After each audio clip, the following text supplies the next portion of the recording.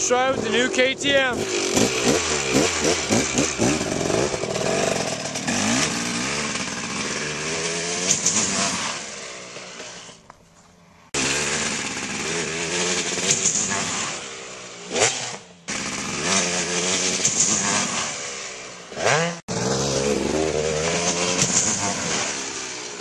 Nice.